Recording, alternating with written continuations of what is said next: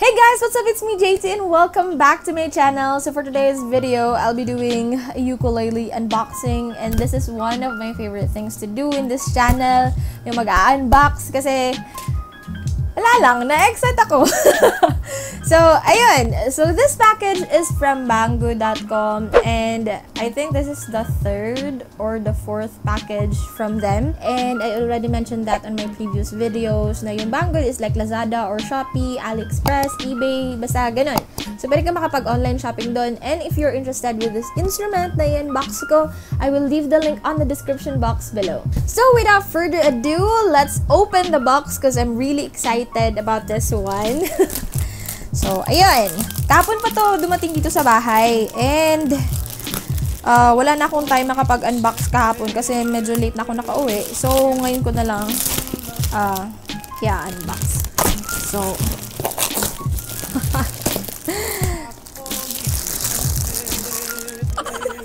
So, sobrang balot na balot talaga itong package na to.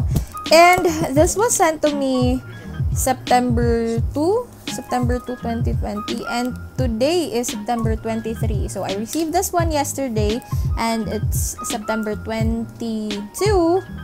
So, 20 days siya dumating dito sa amin. Medyo matagal-tagal pero ano naman din, medyo nade-delay talaga yung mga package, lalo na pag galing overseas because of the pandemic. So, ayun. Pero usually, yung mga packages talaga from Banggood, yung dati ko mga package, uh, nare-receive ko siya within 10 days lang, mga ganun. 10 to 14 days. Pero ngayon, medyo matagal. Ayun. Teka.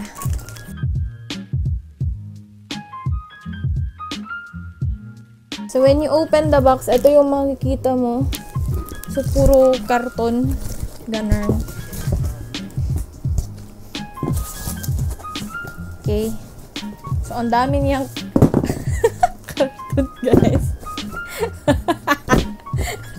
May ukulele ba dito? Teka. So, wait. Yun. Okay. Tapon na natin to. Tapos, ito na naman yung bubukusan natin. Dang, da, da. Okay. So, eto na siya guys. When you open the box, makikita mo talaga agad yung ukulele. So, this ukulele doesn't come with a bag or something. Wala. Yung instrument lang talaga. As in, wala nang ibang laman. Okay? So, let's open this one. Oops.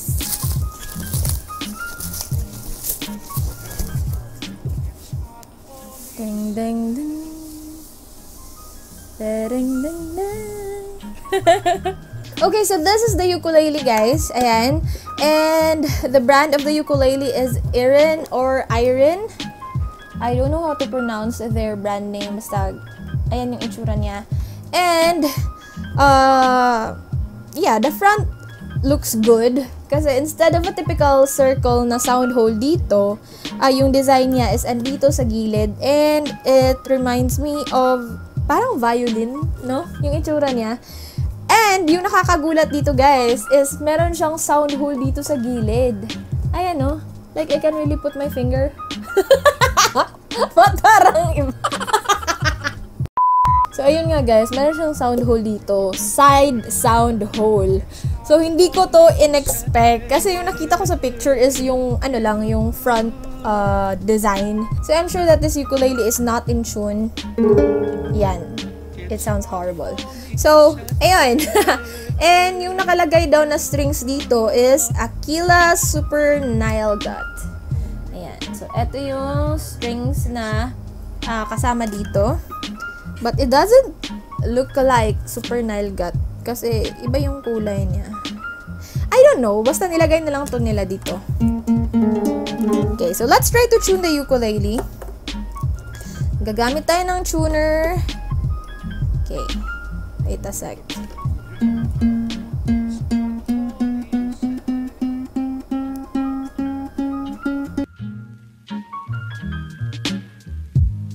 A few moments later.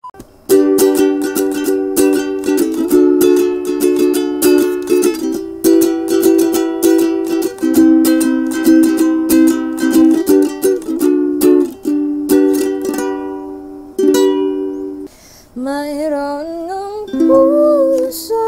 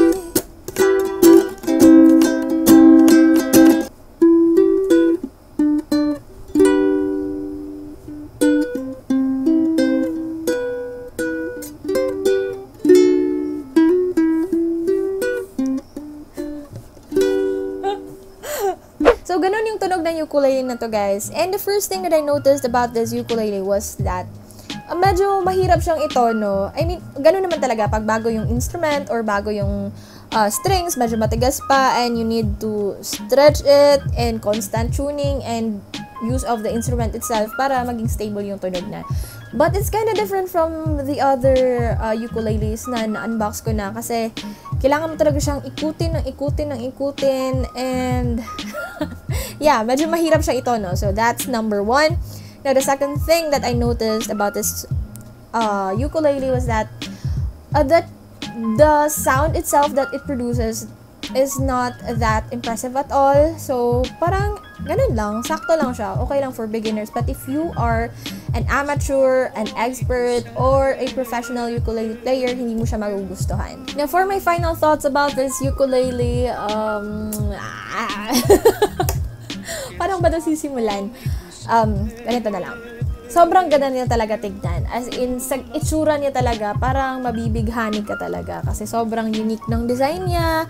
Instead of a typical circle sound hole, eto yung design niya. And meron ba siyang sound hole dito.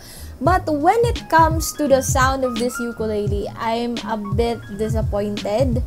Kasi, uh, while I was playing this instrument, nawawala talaga siya sa tono and maririnig mo talaga na unti-unti siyang parang nag-off key, ganun. And if I will rate the sound quality of this ukulele from 1 to 10, bibigyan ko siya ng 5. So, ayun lang. Pero siguro pag uh, papalitan mo yung strings na to, siguro magiging okay ang tunog niya. Kasi hindi ako naniniwala na Aquila yung nilagay nila dito. Kasi hindi ganito yung tunog ng Aquila strings, guys. Feeling ko parang nilagay nilang nila yung tag dito para sabihin you know, Aquila yung nilagay nila dito. Pero hindi ganito yung tunog ng Aquila strings, guys. Yeah. And the last thing na napansin ko dito sa ukulele na to is that wala siyang freebies. Wala siyang extra strings, walang kapo, walang pick, walang bag, wala lahat. So, all you have is the instrument itself. So, ayun lang. Pagbukas mo ng box, eto lang talaga yung makikita mo at eto lang talaga yung matatanggap mo. But overall, I can still say that this ukulele is good and I really love how it looks and how it feels on my hand. Medyo mabigat lang siya ng konti. And by the way, this ukulele is in the concert size. And ayun nga lang guys, medyo may problema tayo sa sound quality. But if you really love this ukulele, then bili ka ng legit talaga na Aquila strings and then palitan mo to, kabitan mo siya ng bagong strings. So, ayun lang. And if you're interested with the details of this ukulele, yung description, lahat ng mga details about this one, then yeah, I will list it on the description box below. So that's it for our video today, guys. I hope that you enjoyed it. And if you did, please give it a big thumbs up and let me know in the comment section below kung ano yung gusto nyo makita dito sa channel na to.